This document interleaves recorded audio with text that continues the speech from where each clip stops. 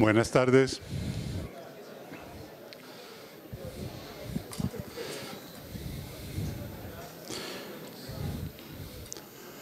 Bueno, de nuevo, buenas tardes.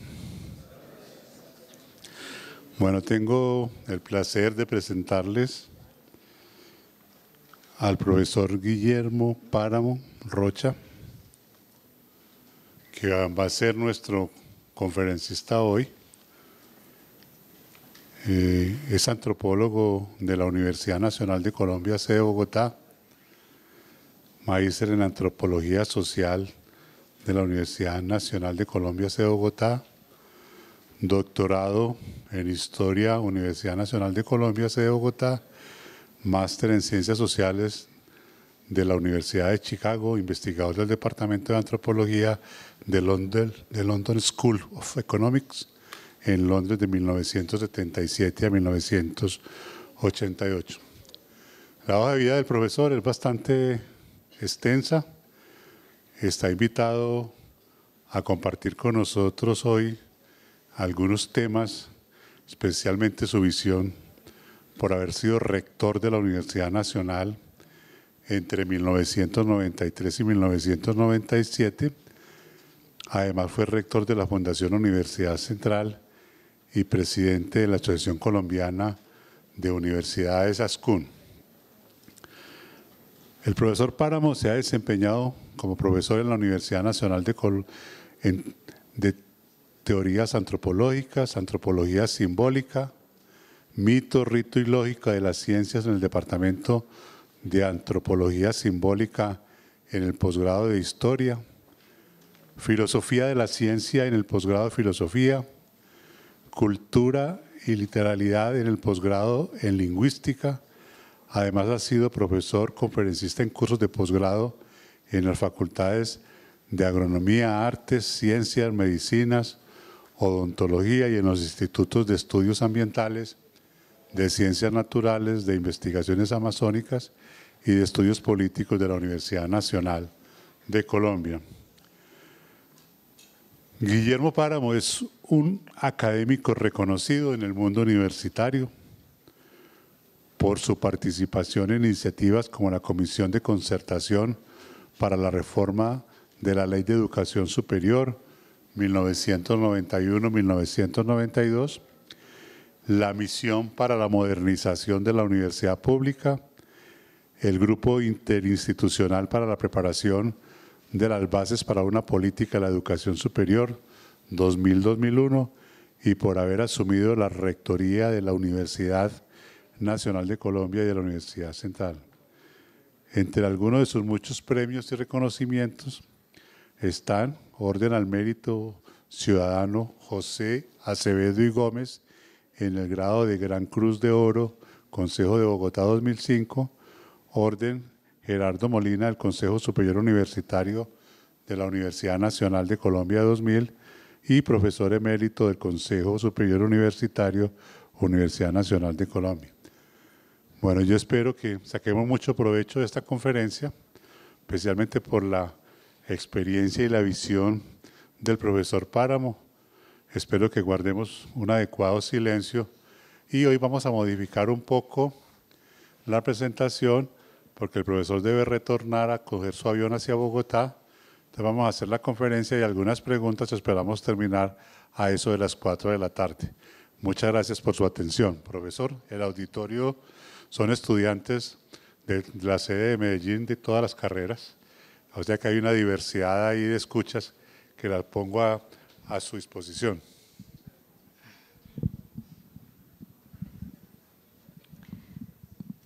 Muchísimas gracias, profesor, por esta invitación y a todos ustedes por eh, tener la paciencia de escucharme hoy.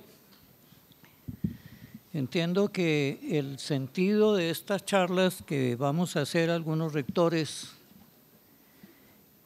es el de reconstruir la historia pasada o reciente de la Universidad Nacional y en lo posible mostrar el alcance de la institución y su importancia para nuestro país y, por qué no decirlo, para el conocimiento y la ciencia en general.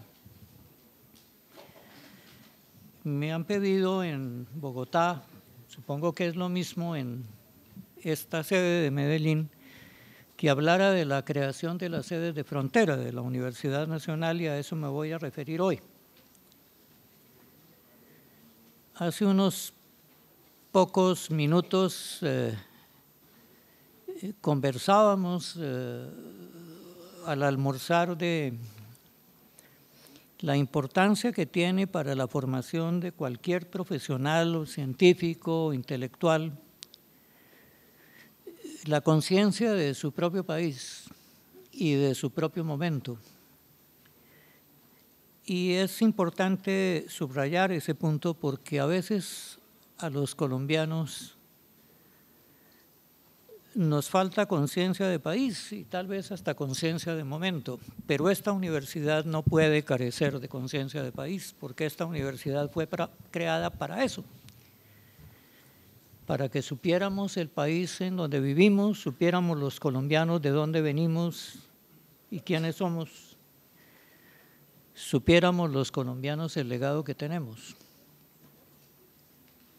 Alguna vez me invitaban a hablar en el exterior de Colombia y de su singularidad, y tal vez porque fue a pocos días del 11 de septiembre de 2001 se me ocurrió citar al Corán, porque el Corán no estaba precisamente de moda en esos momentos. Y es que el Corán dice algo que parece tan lejos, pero que sin embargo debiera estar muy cerca de nosotros. Una de las azoras del Corán dice, si todo el mar fuera de tinta, y a ese mar se le añadiera otro mar de igual tamaño, también de tinta, toda esa tinta no alcanzaría para escribir la palabra de Dios. Pero en otras horas el Corán dice, Dios no se avergüenza de mostrarse en un mosquito.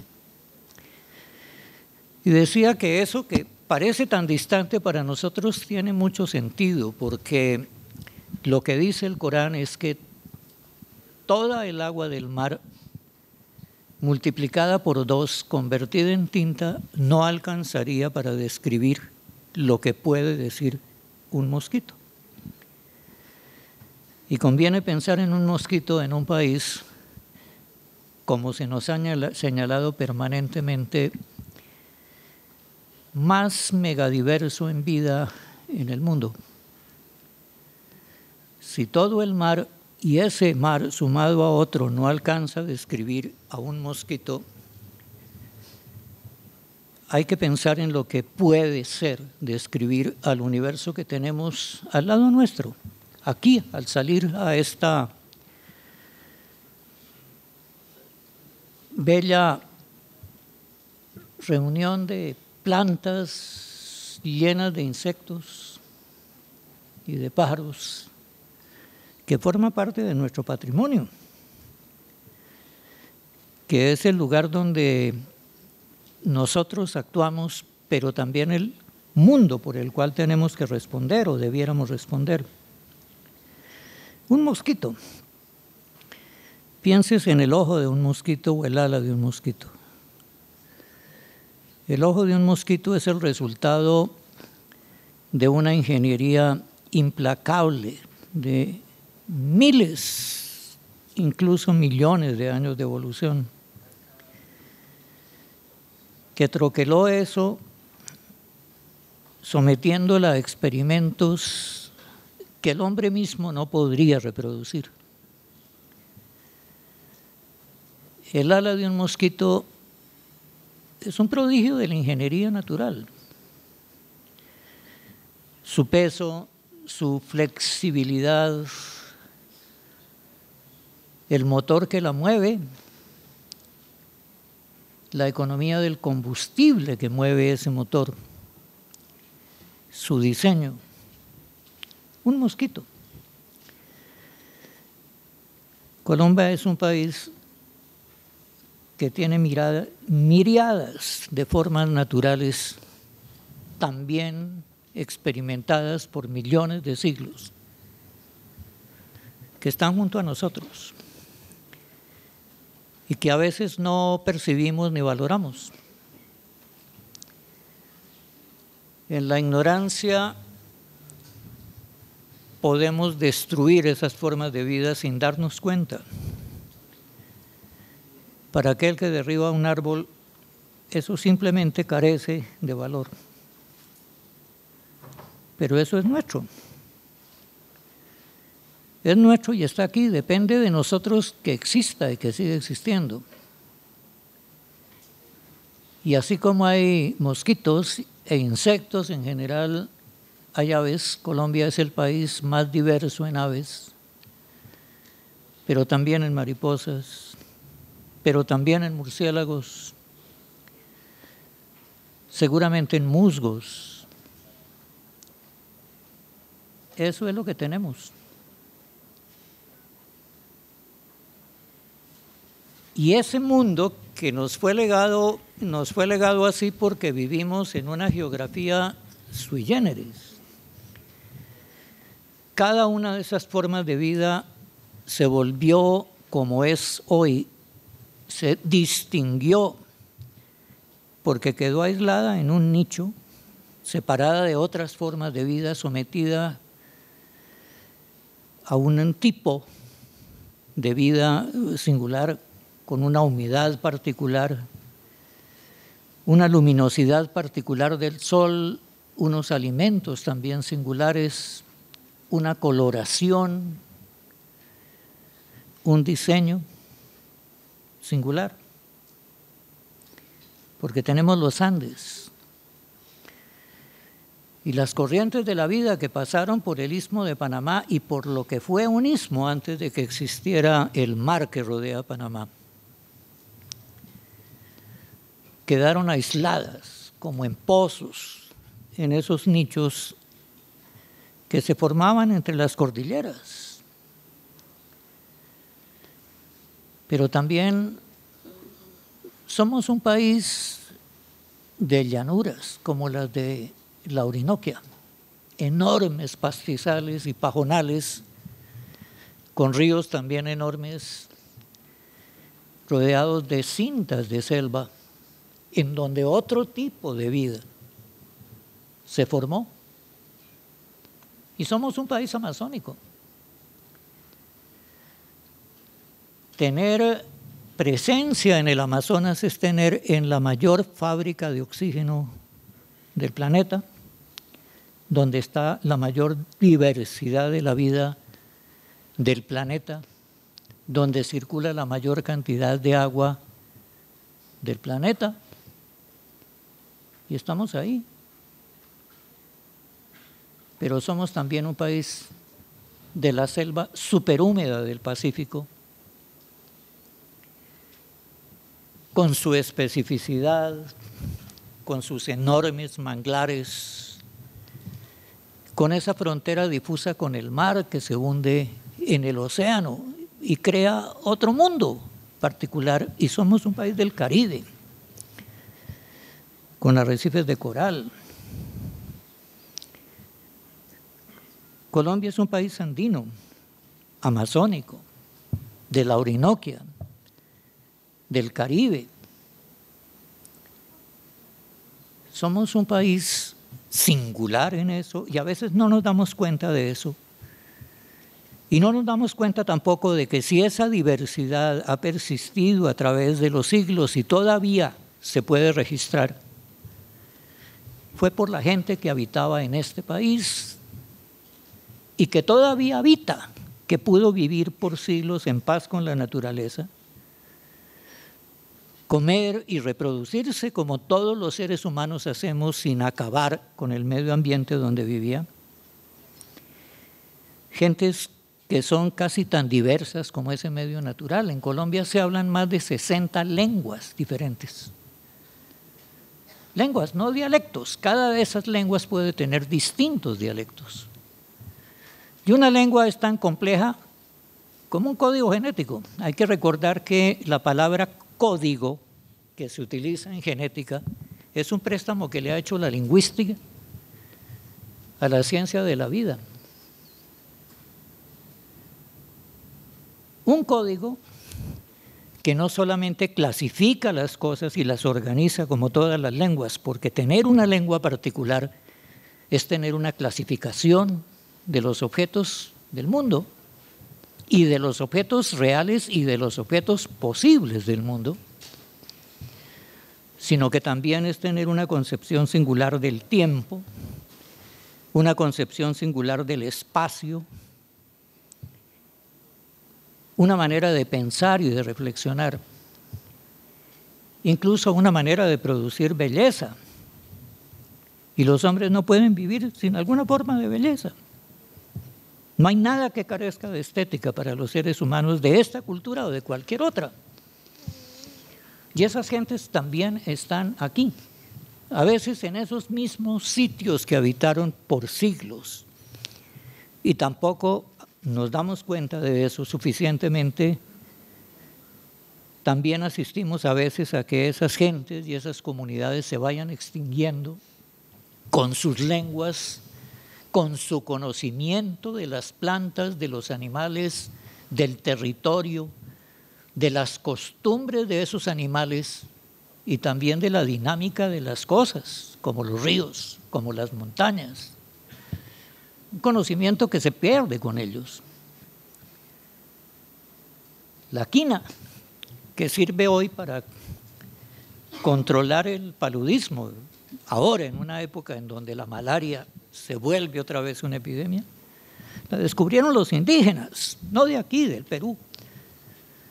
Luego fue transportada a Europa y luego sintetizada. Hoy puede haber moléculas más eficaces, más eficientes que aquellas que estaban en la planta. Pero lo descubrieron los indígenas. Los indígenas son los dueños de un saber enorme.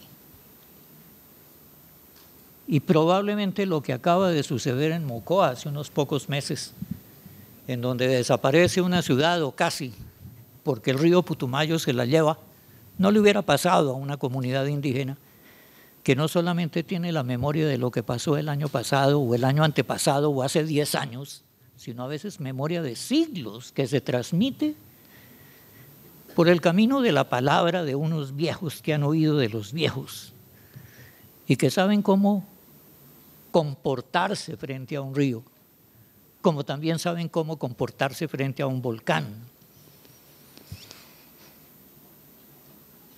Y esa gente se está acabando también.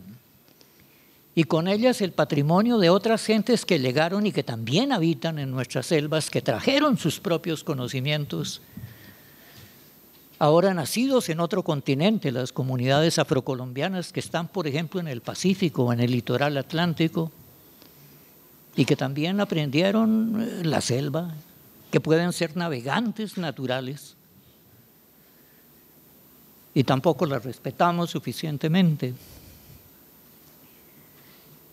No nos damos cuenta de muchas cosas, no nos damos cuenta de que encima de nosotros, por la posición de este país en el mundo, circulan satélites y satélites y satélites.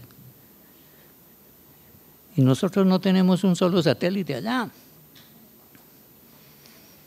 Y para manejar nuestro propio lenguaje y comunicarnos a través de los medios que hoy utilizamos de tecnología, tenemos que acudir a un satélite lanzado por otro país, teniendo nosotros la posición para una órbita geoestacionaria.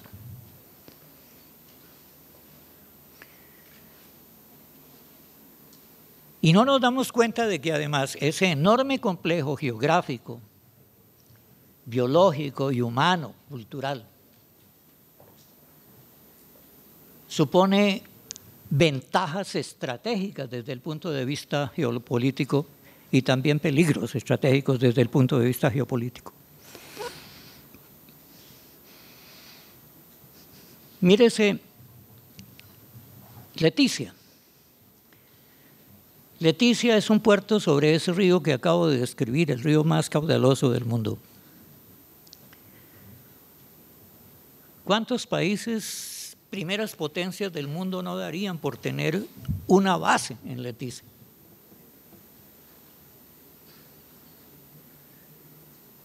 ¿Qué no daría Rusia por tener una base en Leticia? ¿Qué no daría Alemania? ¿Qué no daría el Reino Unido? Nosotros tenemos a Leticia, incluso tuvimos hasta una guerra por ese punto del punto. Tener acceso al río Amazonas es tener también acceso a una vía importantísima que nos puede conducir al Atlántico por otro camino y a una maraña de ríos que son rutas de comunicación. Y a los secretos de esa biodiversidad gigantesca y de lo que está debajo del subsuelo, lo que está en el subsuelo.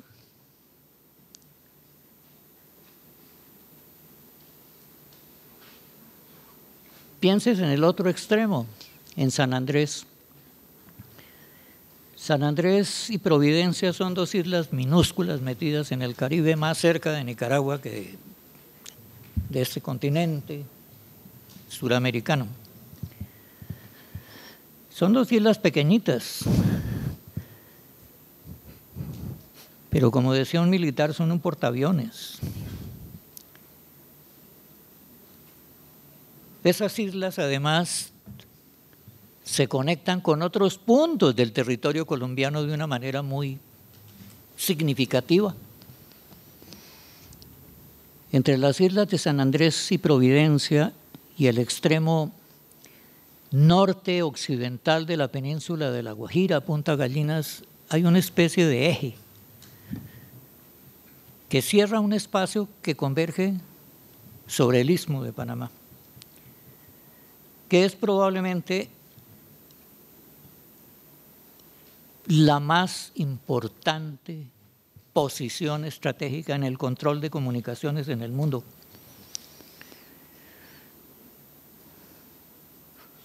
Y quien tiene San Andrés y La Guajira, tiene lo que un militar norteamericano de finales del siglo XIX decía o describía como una clave para cerrar esa posición, con unas pocas embarcaciones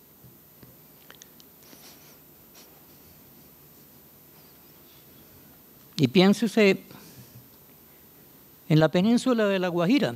Miren el mapa por un momento y se dan cuenta inmediatamente que quien controle la península de La Guajira tiene la capacidad de controlar el Golfo de Maracaibo. La salida del Golfo de Maracaibo tropieza con ese enorme mole que es la península de La Guajira. Y por el Golfo de Maracaibo fluye el petróleo, de lo que se afirma es la reserva de petróleo más importante del mundo. Y el mundo va a necesitar petróleo por mucho tiempo todavía.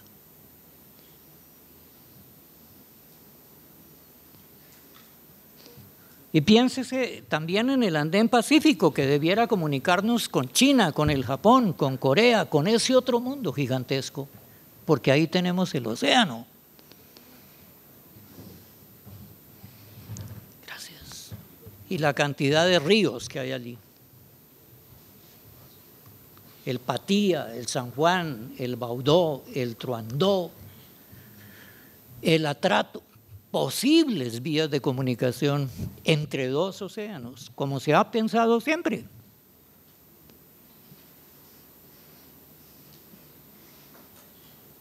Pienses en nuestra posición sobre el río Orinoco, que también es otra vía potencial de comunicación entre los dos océanos. Todo eso es Colombia. Y el asunto es que si un país no se da cuenta de lo que tiene o no lo puede manejar, esas ventajas se vuelven en su contra. Un país con ventajas estratégicas que es incapaz de controlar sus ventajas estratégicas, se vuelve víctima de esas ventajas estratégicas. Le sirven a otros y él eventualmente se puede convertir en una víctima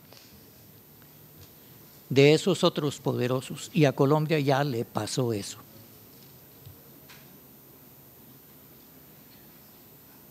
Hablo de Leticia, pero si ustedes van a Leticia, van a encontrar con que lo que fue un puerto en una época, sí yo conocí a Leticia, era un puerto modesto, pero había un puerto, se convirtió en otra cosa.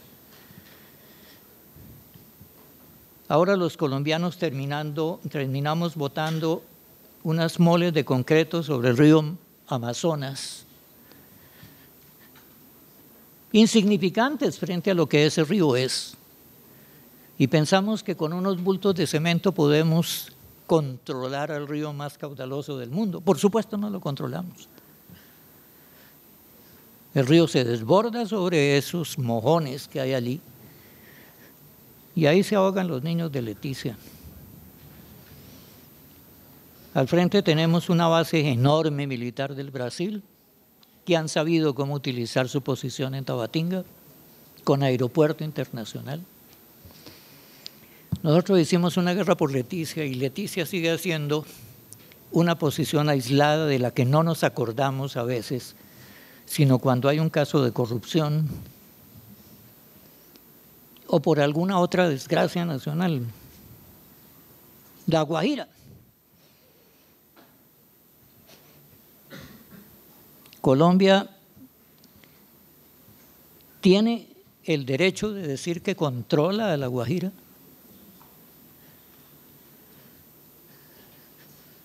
La Guajira está unido al resto de Colombia por una carretera insignificante que bordea el mar y casi se mete en el mar porque tiene que pasar por el borde de la Sierra Nevada. Otra carreterita mucho menos importante que se mete entre la Serranía del Perijá y la Sierra Nevada de Santa Marta y el Estado jamás propiamente ha controlado ni la serranía del Perijá, ni la Sierra Nevada de Santa Marta. Para cualquier mente no se necesita ser militar. Se da cuenta de que esa posición fundamental, eventualmente en el juego de potencias en el mundo, porque digo, es la vía del petróleo, que mantiene funcionando la economía norteamericana en Baltimore o Nueva York. Está olvidada por este país. Ahí se mueren los niños de la Guajira de hambre y nadie se da cuenta hasta que no hay una agencia internacional que lo denuncia.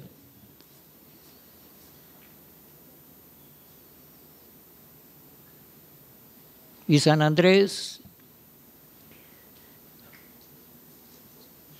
esas dos islitas insignificantes, pero con una enorme importancia estratégica también, también abandonadas durante mucho tiempo, maltratada su gente, a quienes le, le prohibieron hablar su lengua, tener su religión, mantener sus costumbres. Resulta con que los sanandresanos, la gente que está alrededor de Leticia, que son indígenas, o de La Guajira, que son también indígenas, son los colombianos de allá, tan colombianos como cualquiera de nosotros, son ciudadanos, según lo dice la Constitución. Y de ellos depende que eso siga siendo colombiano. Depende de que se sientan orgullosos de su patria y tengan razones para sentirse orgullosos, para que eso siga siendo colombiano. De la órbita geoestacionaria tal vez resulta extraño hablar, pero Venezuela tiene un satélite. ¿Por qué no Colombia?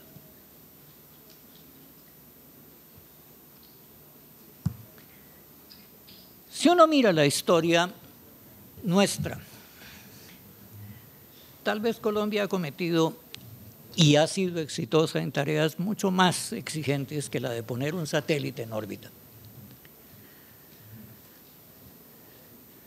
Y eso me lleva a hablar de la Universidad Nacional, porque la Universidad Nacional es para darnos cuenta de todo eso que tenemos, de todo eso que no conocemos, de todo eso de lo que debiéramos ser responsables y conscientes. Porque esta universidad fue creada para eso y fue creada con mucho trabajo.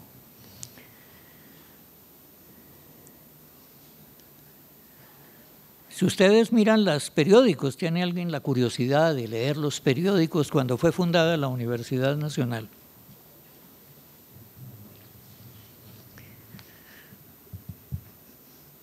Valdría la pena mirar cómo se describía la gente, la gente de aquí de Antioquia, por ejemplo.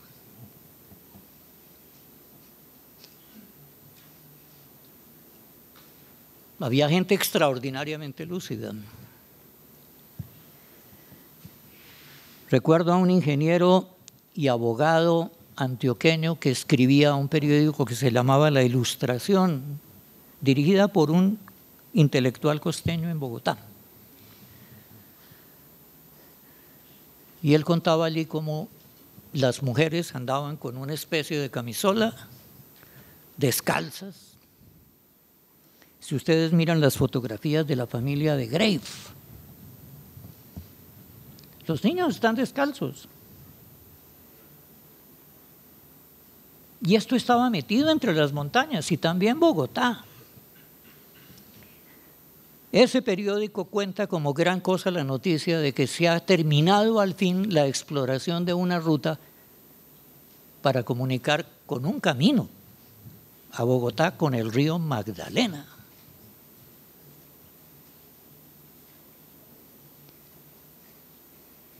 Ese era el país donde se creó la Universidad Nacional y donde se fundó. Un país de guerras civiles, porque las guerras civiles jamás han terminado en Colombia. No es cierto que la guerra civil comenzó hace 50 años. Esta es una continuación de otras y otras y otras guerras civiles. La Universidad Central, que fue la universidad que Santander fundó en Bogotá, como fundó en Caracas como fundó en Quito para la Gran Colombia, está en los orígenes remotos de esta Universidad Nacional, que se cerró por las guerras civiles. Y después de que se fundó esta universidad, hubo tres guerras civiles más, una de ellas terrible, que fue la guerra de los mil días. Esa universidad que se fundó ahí se fundió con retazos que los gobiernos liberales consiguieron de la expropiación de conventos y de cuarteles,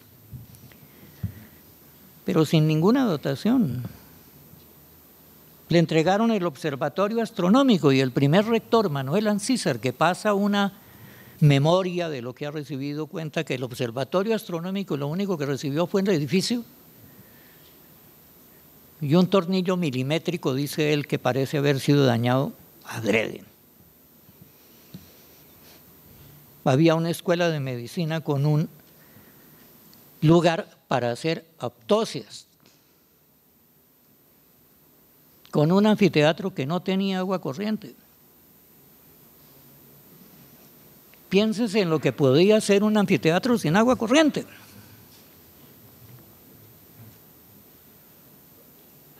La biblioteca era una biblioteca de libros antiguos, muy valiosos para estudiar latín, historia de la teología, todo lo demás, pero prácticamente sin referencia al conocimiento científico de su época, ni tampoco siquiera las letras de su época.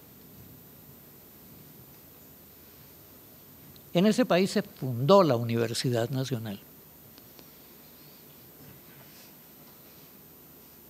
Hubo quien pensó en fundar la Universidad Nacional y la fundaron. Y piénsese lo que significaba traer un microscopio que tenía que venir de Europa. Traer el microscopio, desembarcarlo en Santa Marta o en Riohacha o en Cartagena y llegar finalmente a las bocas de ceniza y embarcarse en un champán por el río Magdalena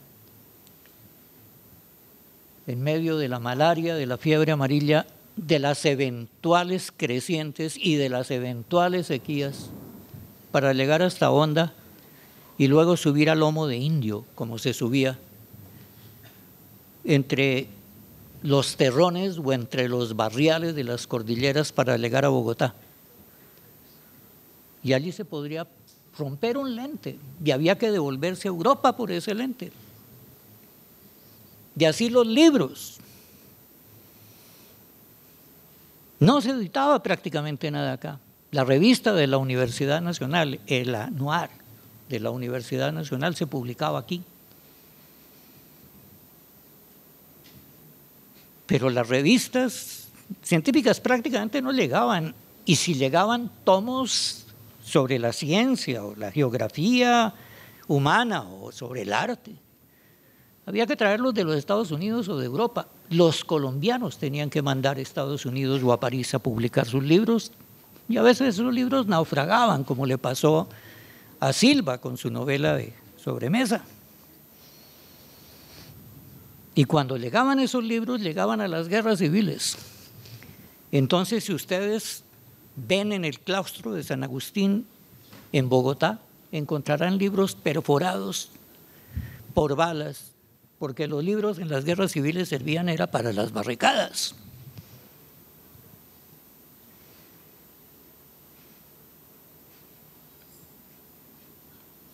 Quien se paraba en el altozano de la Catedral de Bogotá podía ver sin ningún problema la cordillera con los volcanes de la cordillera central, con los nevados. Y esa sabana de Bogotá se inundaba cuando llovía, en esta época. Y no había caminos. Y cuentan los viajeros que tenían que orientarse por las estrellas navegando la sabana de Bogotá. De ahí hubo gente que dijo, vamos a fundar una universidad. No hicieron ningún estudio de factibilidad. Prácticamente no tenían un presupuesto y la universidad se hizo. Hoy existe, están ustedes en ella. Eso tal vez es más difícil que lanzar un satélite hoy. Y esa universidad se hizo porque hubo colombianos capaces de pensar en grande y pensar en lo distante y al mismo tiempo no perder conciencia de lo local y de lo singular del país donde vivían.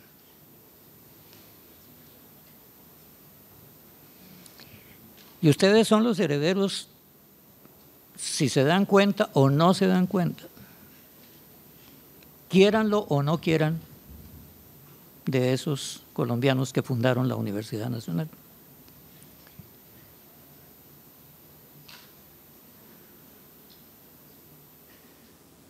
Decía que recordaba a un, a un antioqueño, se llamaba Camilo Echeverry, era muy amigo de Gregorio Gutiérrez González, el gran poeta antioqueño.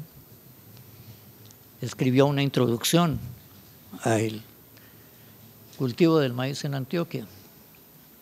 Este le escribía una carta a ese director del periódico que menciono, de la ilustración, quejándose de que él decía a veces, o había dicho en algún momento, un poco haciendo broma, que había gente que todavía creía que era posible volar, que un cuerpo más pesado que el aire podía volar. Y este señor Camilo Echeverri, que era abogado y polemista, además de ingeniero que había estudiado en Inglaterra, le decía, en 1867, yo no veo por qué no se pueda volar con objetos más pesados que el aire. Sus nietos quizás puedan volar en un aparato más pesado que el aire. ¿No ve que hay chulos? ¿No ve que hay gallinazos? Y los gallinazos son más pesados que el aire y vuelan. Si vuelan los gallinazos, ¿por qué no se puede construir un aparato que sirva para volar? Ese era un antioqueño que pensaba en otra escala.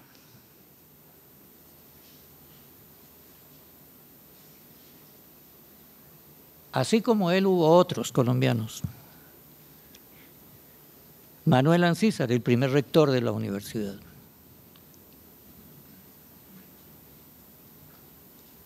No pensaron en una cosita para el momento, no pensaron en una cosita para el ahora o para el aquí solamente. Pensaron en que había una aquí y una ahora, pero tuvieron una visión estratégica. Y tal vez la visión más poderosa estratégicamente es la aquella que apunta a cambiar la mente. Porque la mente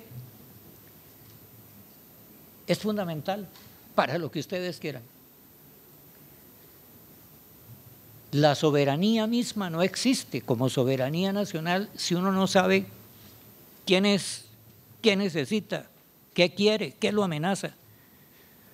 Usted puede poner todos los tanques de guerra que quiera en fila sobre una frontera y carecer absolutamente de capacidad de entender para qué es y sobre todo para qué le sirve o por qué lo necesita. Esa gente que pensó en la universidad pensó en gente capaz de tener esa mente, de cambiar la mente. Quien cambia la mente, cambia la gente y cambia el mundo donde esa gente habita. Ustedes están aquí para eso también.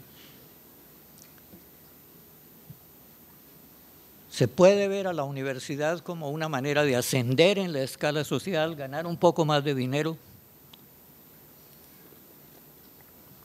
de respetabilidad. Se puede ver a la universidad para conseguir poder, pero la universidad desde su fundación en la Edad Media existe principalmente para pensar, para conocer. Y así se pensó la Universidad Nacional.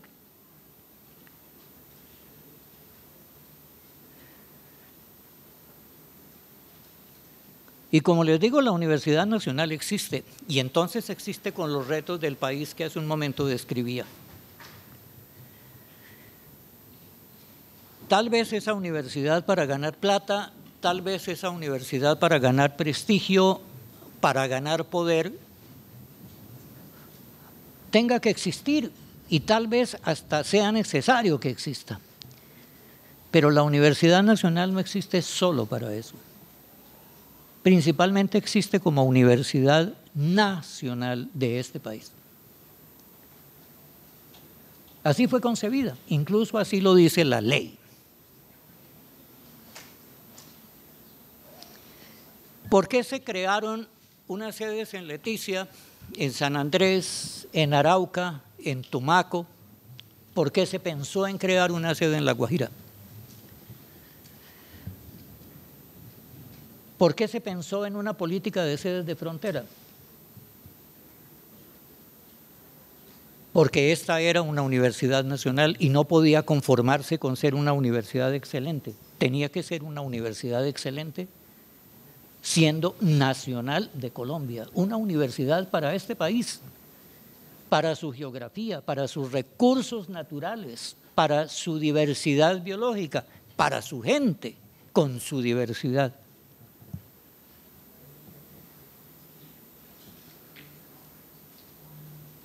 Y para esos desafíos geoestratégicos que siguen existiendo,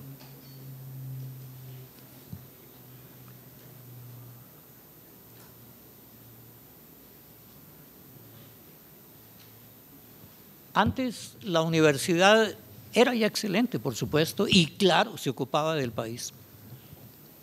Siempre la Universidad Nacional desde su fundación se ha ocupado del país.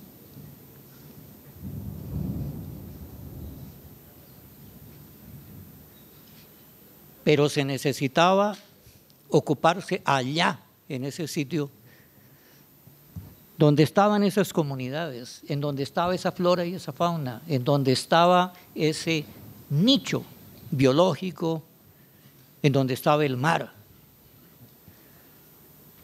en donde estaban los ríos, en donde estaban las fronteras abandonadas y miserables, porque así siguen siendo las fronteras de este país.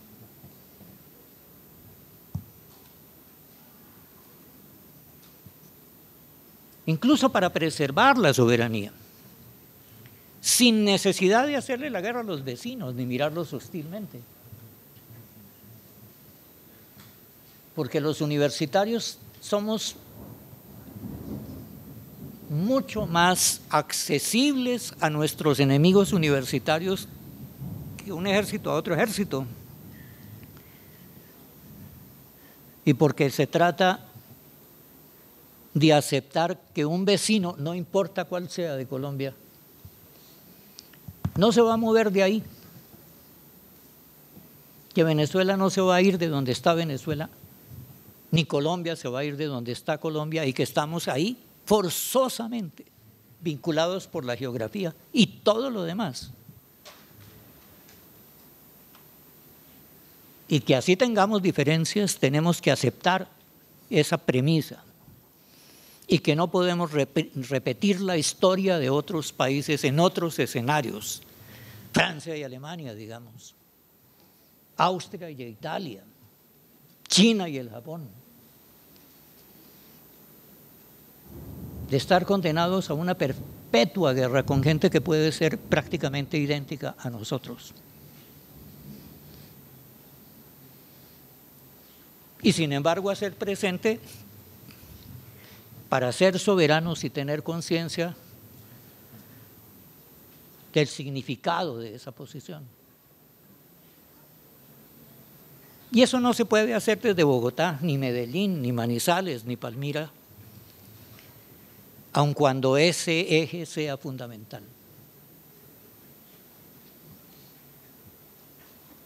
Por eso se crearon esas sedes de frontera. Eran también una idea absurda.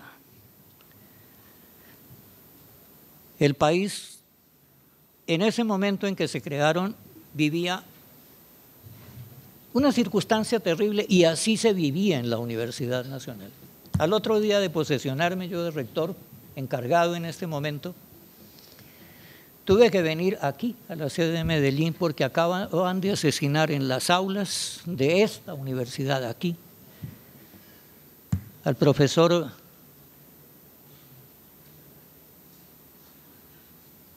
de arquitectura, creo que era, Freddy Armando,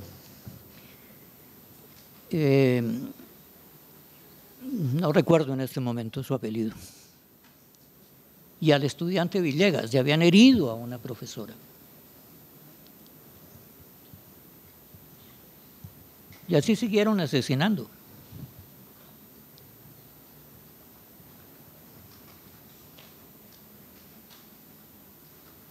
También en esa época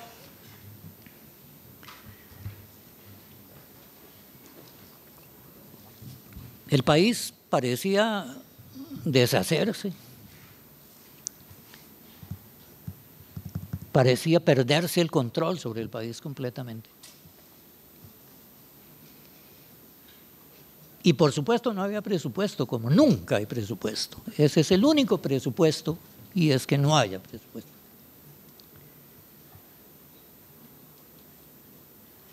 Pero también se pudo hacer. Hoy la sede de Leticia tiene un doctorado en estudios amazónicos, que es un doctorado internacional, y también tiene doctorado San Andrés, donde no había nada.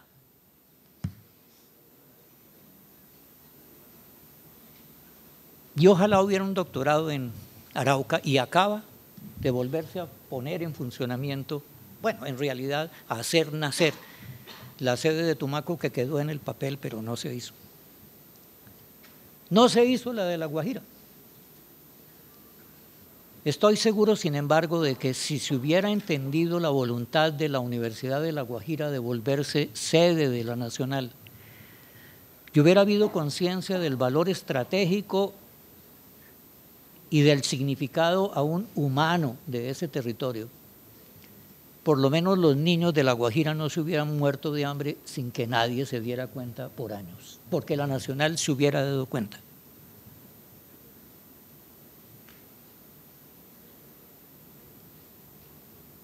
La Guajira es sed y la Guajira es minería. Ustedes tienen aquí la más prestigiosa escuela de minería de este país desde que se fundó y un doctorado en recursos hídricos. Se pensó en que Medellín fuera quien tomara esa sede de La Guajira. No pasó, no sé por qué. Probablemente cambio de rector, cambio de perspectiva.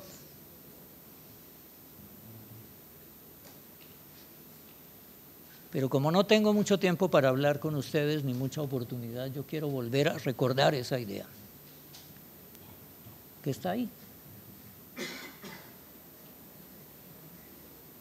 Una universidad que tenga una sede en Leticia, en Tumaco, en Arauca, en San Andrés, en Riohacha y otras más. Y también en los Andes es una universidad que puede reclamarse verdaderamente nacional. Una universidad en cuyo consejo académico los decanos traen la problemática que es la problemática del país, es una universidad nacional. Un consejo académico no puede limitar su discusión a lo que pasa en un campus universitario, en la sede de Bogotá o en la sede de Medellín. Y un consejo superior tampoco. Y un rector debe tener en su mente la preocupación del país, si no esta universidad tal vez pueda ser excelente, pero no excelentemente nacional. Creo que es importante también tomar conciencia de que uno sí puede hacer cosas, de que cada uno de ustedes puede hacer cosas. El mero hecho de interesarse por eso es hacer cosas en un país que poco se interesa por eso.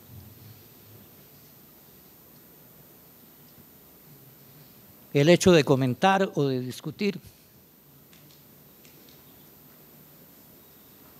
eso es ya bien importante.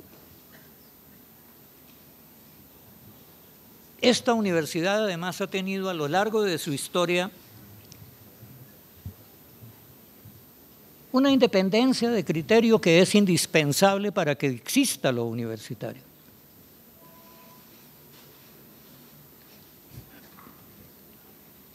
Una capacidad de crítica que es fundamental para una sociedad.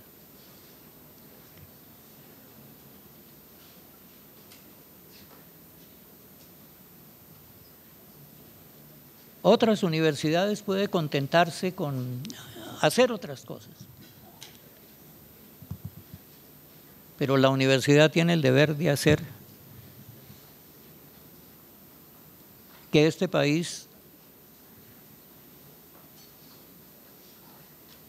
corrija o por lo menos consiga paliar lo que más duele en él.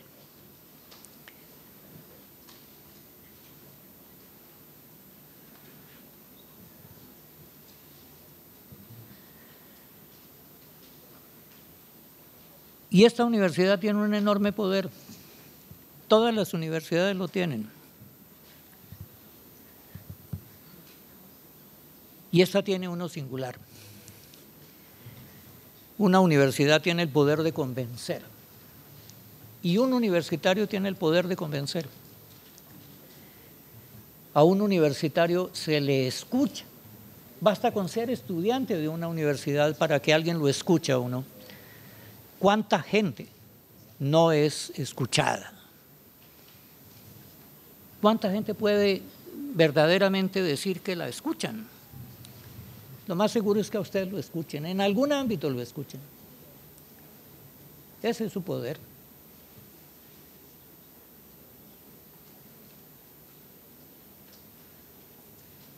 Uno tiene el poder de convencer si es universitario. No a todo el mundo, no se necesita convencer a todo el mundo ni convencer a multitudes.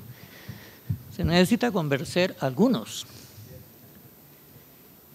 Para un profesor lo más importante no es tener un curso entero que se trague un cuento. Si un profesor es profesor debe llegar a algunos que quizás sean profesores con el tiempo y sean capaces también de legar algunos.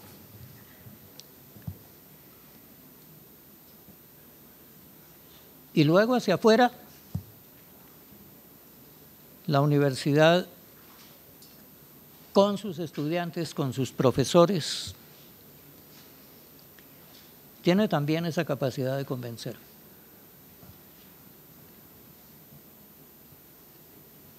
Esta universidad no puede ser una institución marginal,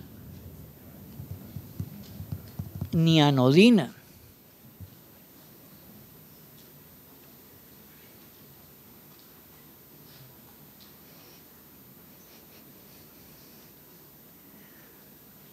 Esta universidad tiene que ser una universidad nacional.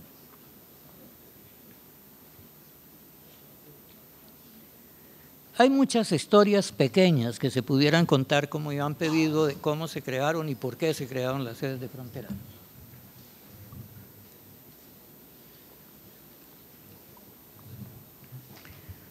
Yo diría que fue fundamentalmente por una escuela que había en la propia Universidad Nacional.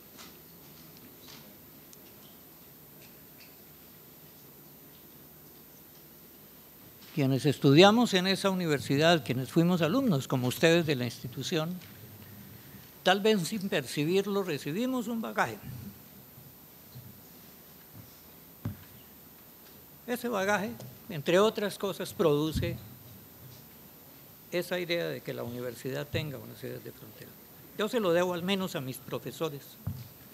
Los otros miembros del equipo se lo deberán a los suyos.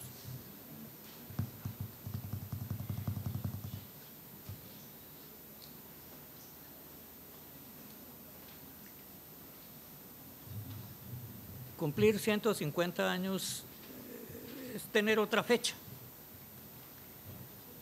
Pero las sociedades necesitan marcar las fechas. Porque ese marcar las fechas le dan ocasión de pensar sobre ellas mismas. Por lo menos algunos les dan esa posibilidad. Una sociedad o una institución que no piensa sobre sí misma, que no se conoce, que no conoce su historia, ni conoce para dónde va, ni qué sentido tiene de existencia, es una institución enajenada, esclava.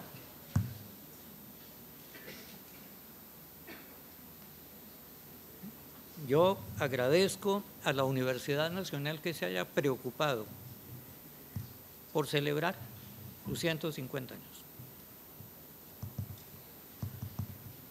Muchas cosas saldrán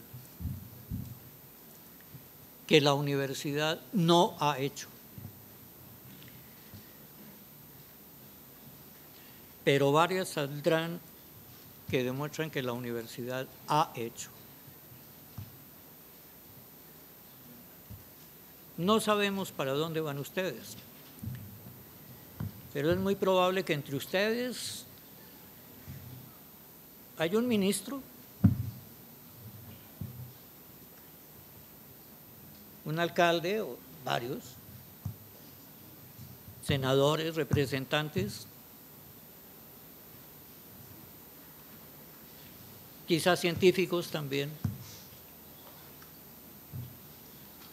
Hoy se pueden mirar y no reconocen al científico en el compañero que está al lado, ni al alcalde, ni al presidente, pero así ha sido siempre.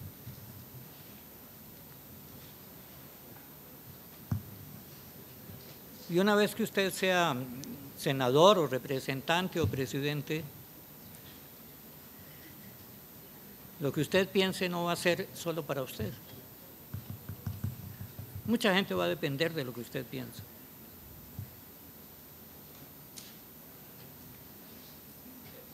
Y mucha gente puede sufrir por lo que usted piensa. O al contrario, beneficiarse de ello. Ese es el sentido profundo de la educación. Más que aprender a manejar una calculadora o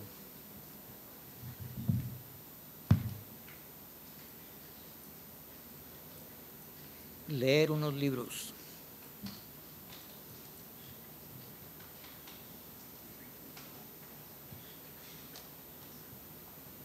Antioquia y Medellín tienen además su historia peculiar. Y en esta universidad, la sede de Medellín tiene su historia particular. También con ocasión de este 150 años, ojalá se medite sobre eso.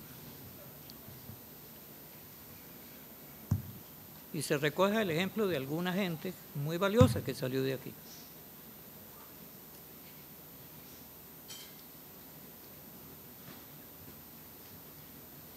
Gente que fue generosa,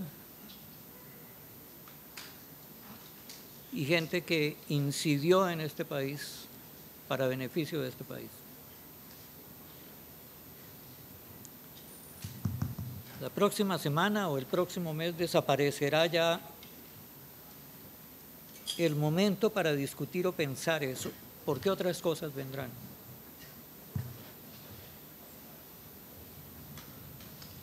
Pero que haya un momento como este ayuda a que por lo menos abramos los ojos de vez en cuando.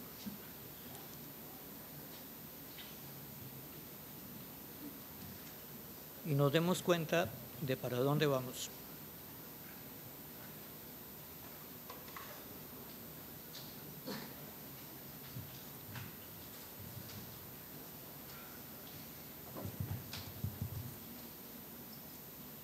El verdadero poder de esta universidad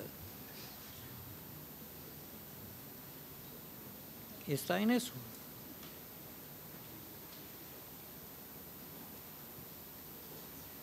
En que puede hacerse consciente de la misma. Y ustedes son esta universidad. Y ustedes en 150 años para la gente de dentro de 150 años van a ser lo que fue esta universidad. Eso da una oportunidad gigantesca y también una gran responsabilidad. Quiero agradecerle a la sede de Medellín por esta ocasión que me parece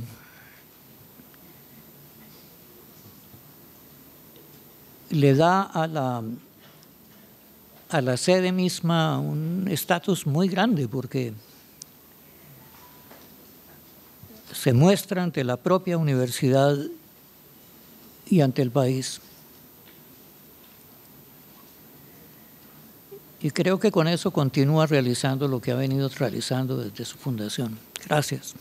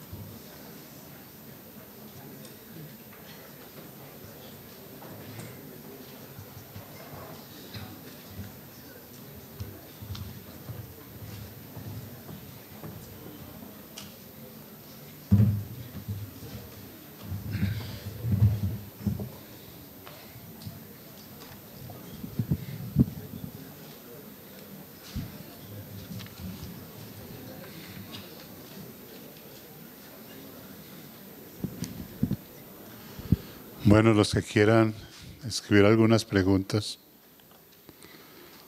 ¿Dónde está Natalie Bedoya Salazar?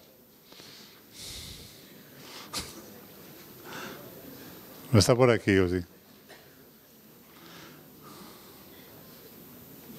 ¿Quién quiere hacer una pregunta? Ahí va vos. O una opinión.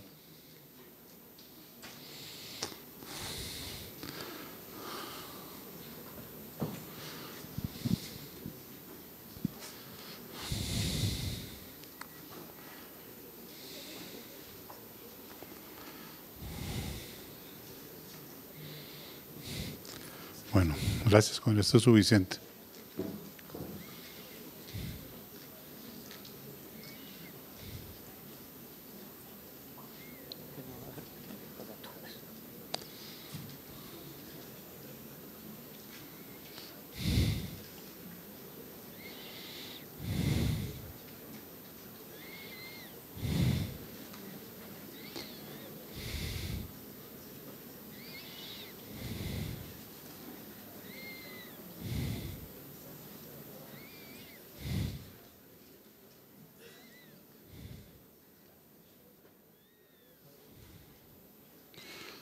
Vamos a iniciar con esta pregunta, reflexión que hace John Jairo Alpala. Frente a la pérdida de los saberes de las culturas indígenas, la universidad, ¿qué podría hacer frente a esta situación y cómo se podría ayudar a estas comunidades, bien sea indígenas o afrocolombianas, a fortalecerlas? Sin que pierdan, sin que pierdan sus tradiciones.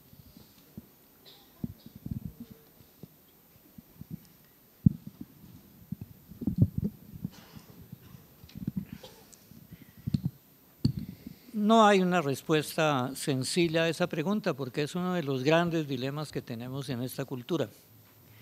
Pero lo que yo sí puedo decir es que ese problema se tiene que plantear y debe haber un lugar para plantearse ese problema. Y ese lugar es la universidad. Y de todas formas, yo sí defiendo conocer. Aquello que no se conoce no se respeta. Y en general lo que respetamos, sobre todo en materia de diferencias culturales, se debe a nuestra ignorancia a nuestros prejuicios. Si uno se asoma a otra cultura, encuentra que eso es enorme extraordinariamente profundo y extraordinariamente complejo. Y claro, se plantea el problema de cómo puedo yo hacer que eso se preserve sin destruir eso o sin impedir que eso pueda dentro de su propia dinámica progresar. De todas formas, yo diría, el respeto de una cultura es también el respeto por su hábitat. En el caso de las culturas indígenas, el respeto por su tierra, por su territorio, por sus símbolos, por sus creencias que pueden ser extraordinariamente distintas de las que tenemos en el mundo de la universidad. Pero la universidad sí debe tener la capacidad de saber que no tiene todo el saber y de que hay cosas que otros saben que ella misma no sabe. Incluso debe tener la capacidad de respetar el secreto de otra cultura de que otra cultura mantenga sus propios secretos. Eso es muy difícil, pero es un problema universitario, no es un problema de políticos. Ese es un problema de universitarios. Y el otro campo en donde la universidad tiene también posibilidades de hacer cosas es señalar e incluso denunciar aquello que pasa sin que nadie se dé cuenta.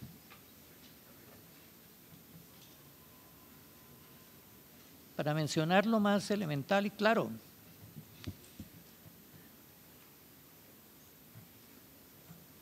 esas culturas necesitan seres humanos vivos.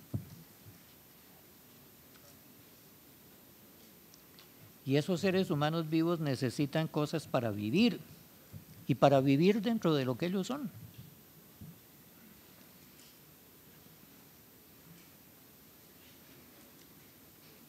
Señalar como una comunidad indígena, afrocolombiana o incluso campesinos asentados por mucho tiempo, pierde su territorio, se les desplaza a las ciudades, como vemos al menos en Bogotá, seguramente también en Medellín. gente sumida en la miseria, explotada por la delincuencia, cuando venían de una cultura orgullosa, rica, sabia. Es algo que debe ser señalado y denunciado. La gente pasa por ahí sin darse cuenta de ello. Ya eso es importante.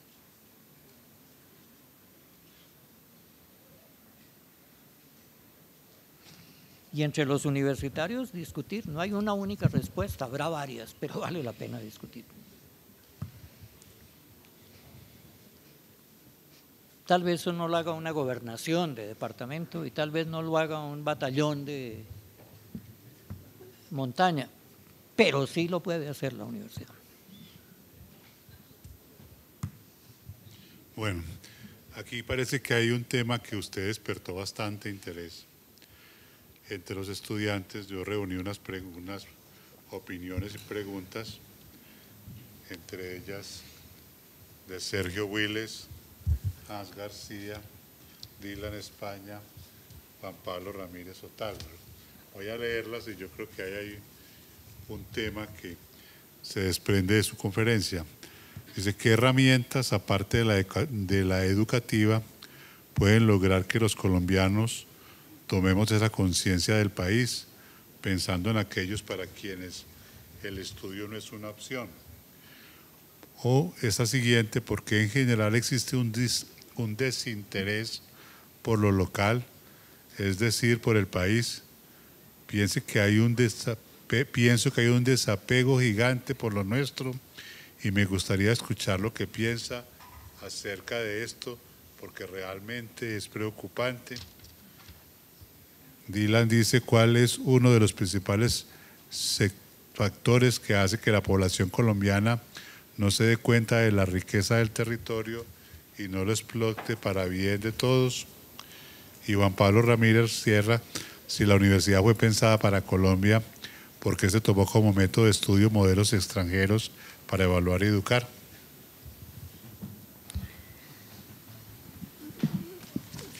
Yo comenzaría por el por qué se usaron modelos extranjeros.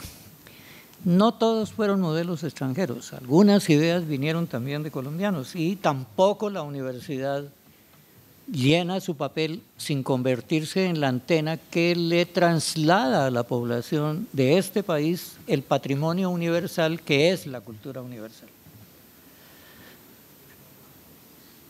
Los colombianos, por ser colombianos, no nos podemos privar de lo que ha hecho Einstein o lo que ha hecho Shakespeare de lo que hicieron los griegos. Sería absurdo porque ese es un patrimonio de la humanidad, incluso hecho aun cuando no nos demos cuenta a veces por los colombianos. Seguramente eso al menos está en Einstein y en Shakespeare.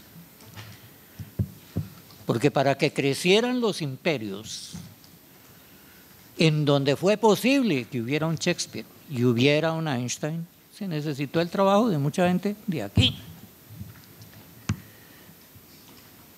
y de otros lugares que pueden tener una conexión con esto. La universidad, y para eso también era la idea de sedes de frontera, debe servir para que se mantenga la cultura, ojalá, local, nativa, tradicional de una comunidad, pero también para que esa comunidad tenga el acceso a la cultura universal. Y puede ser así. Puede ser así. Nosotros podemos estudiar chino y no por eso nos volvemos chinos. Porque un indígena, si estudia a Aristóteles, tiene que volverse griego antiguo. Pero sería muy importante que si un indígena se interesa por la historia de la lógica o la filosofía, pueda entender Aristóteles, tiene la capacidad de hacerlo. Sin necesidad de subordinar su cultura a esa otra cultura. La universidad es también para la cultura universal. Y eso puede incluir la tecnología, no solamente el conocimiento.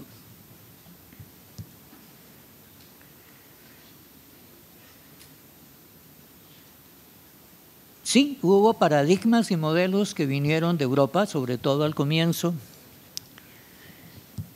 y a veces con excesos. Esta universidad se creó en esos años en medio de una enorme polémica que fue definitiva para que renunciara el primer rector. Tal vez ustedes ya conocen algo de esa historia. Pero era que era la discusión en el mundo. Hoy tenemos otros paradigmas y modelos. Lo que sí importa es sentirse orgulloso de lo que es uno. Y lo que sí importa es tener conciencia de que eso que es uno no tiene por qué valer menos que lo demás. A mí me gustaba a los estudiantes contarles una pequeña historia. Una vez en un pueblo colombiano, de los Andes, llegué a un, a un pueblo. Y ese pueblo hacía una feria de dulces los lunes en la mañana y entonces yo salí a la plaza y en el mercado estaban vendiendo dulces que ellos hacían, dulces de azúcar con formas de corazones y con letreros como si me chupas me derrito, por ejemplo. Y fotografías de gente que estaba allí, generalmente alusivas al texto de la decoración. Y era muy bello ver ese arte efímero hecha por manos de campesinos, pero también era trágico. Profundamente trágico, porque esa estampita recortada que estaba pegada al corazón era el de una muchacha y un joven que no se parecían en nada al campesino ni a la campesina. O se parecían muy poco. Que la niña que estaba allí no era la hija del campesino que había hecho, ni tampoco la novia, ni la esposa, ni la mamá, ni la hermana, ni la amante. Y que lo mismo pasaba con el retrato del muchacho. Y es una tragedia, ¿por qué? porque no veían la belleza de su propio rostro. Lo que uno considera bello o feo es algo que uno considera, no es una propiedad objetiva de las cosas.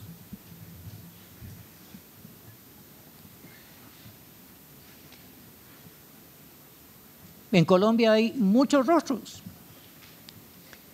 y es muy importante que cada dueño de ese rostro sienta belleza en su propio rostro. Una sociedad que no tiene la capacidad de sentir belleza de su propio rostro es una sociedad enajenada. Con ella pueden hacer lo que sea, hasta transformarla físicamente, mutilarla para parecerse a alguien, cosa que vemos en nuestra sociedad. ¿Por qué unos rostros son bellos y por qué otros no? ¿Quién decretó que había un concepto de belleza? Puede haber gustos también. Pero entonces que ese gusto por lo menos incluya el gusto por la propia gente y por el propio rostro. Y ese rostro no es solamente el rostro físico, es el rostro también del conocimiento, de la tradición, de la música propia, del arte. Por eso son tan importantes los artistas. Porque los artistas tienen la capacidad de mostrar el propio rostro. Para citar un ejemplo archiconocido, García Márquez. García Márquez mostró que lo que pasa en una aldea colombiana de la costa atlántica y de la Guajira y de la costa atlántica nuestra puede ser universal, tan universal como lo que pasa en un pueblo de Alemania o en una comunidad de la China y que puede ser bella cuando no veíamos belleza en eso. Y por eso puede ser también bello un vallenato para aquellos que lo sepan interpretar. Sin que por eso deje de ser importante Bach. Al contrario.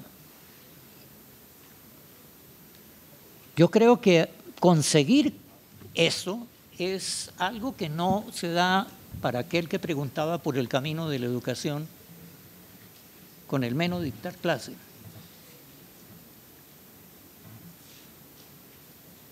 Tal vez García Márquez no quería enseñarle nada a nadie. Pero García Márquez logró mostrar eso. Incluso crear un mito en el sentido propio de mito. Nosotros decimos aquí fue Troya, o esto es Lilliput, o esto es, eh, y citan un país, ahora se puede decir en el mundo esto es Macondo.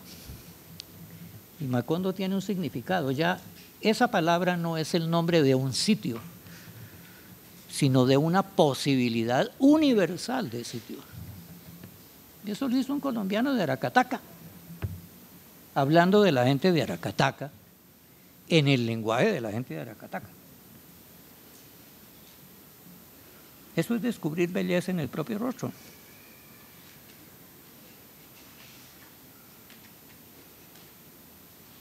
Un pueblo que no es orgulloso es un pueblo esclavo.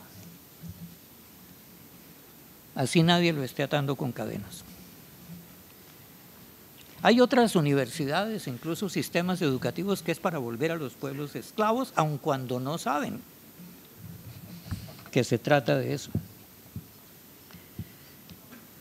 y hasta universidades, a revistas que lo que quieren es parecerse a...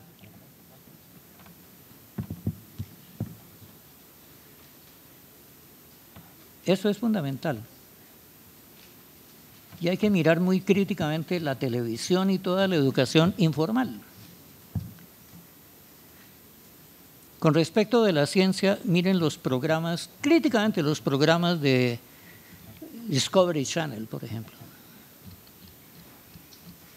a veces están llenos de errores de la propia teoría científica, pero además, así no estén llenos de errores, muestran un científico que ya está hecho, la ciencia ya está hecha, y eso no es de nosotros, eso es de una gente muy particular que habla inglés o alemán y que está ya colocada y tiene un rostro particular y unos nombres particulares.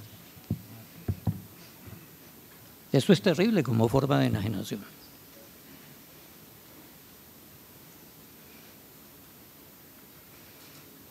Creo que igualmente es muy importante frente a este conjunto de preguntas tomar uno conciencia de lo que uno mismo es, de todo el bombardeo que recibe. Como en eso de la televisión.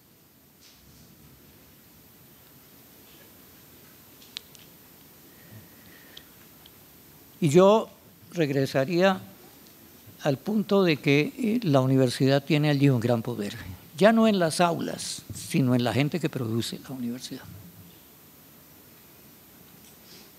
en su manera de ser. Porque también cuando no quiera esa gente se convierte en modelo de otros, en modelo de imitación.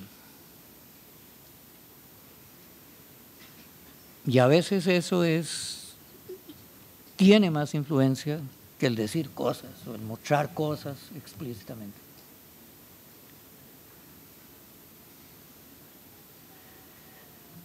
Desafortunadamente no tengo tiempo para, para hablar de más, pero sí quisiera terminar eh, volviendo al punto de reflexionar sobre la propia Universidad Nacional.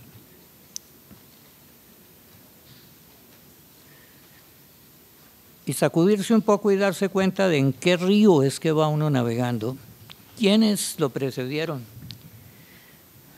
y también que aun cuando uno no quiera, otra gente lo va a preceder, lo va a suceder.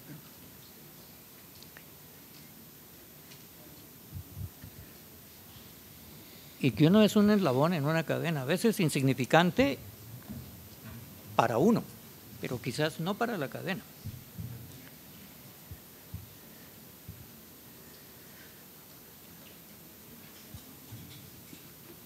Aprovecho para felicitar a la sede porque veo el campus muy bello. Eso creo que es importante. La primera señal de alarma en el mundo de la contaminación biológica es que esto se ve feo.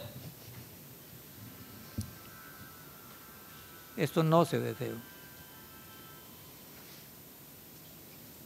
No se necesita ser lujoso, al contrario, quizás se necesita no ser lujoso.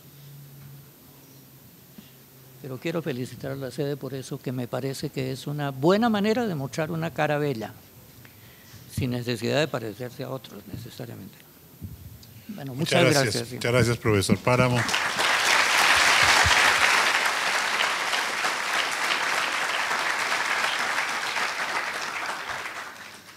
Muchas gracias a ustedes, y a los auxiliares y nos vemos el jueves.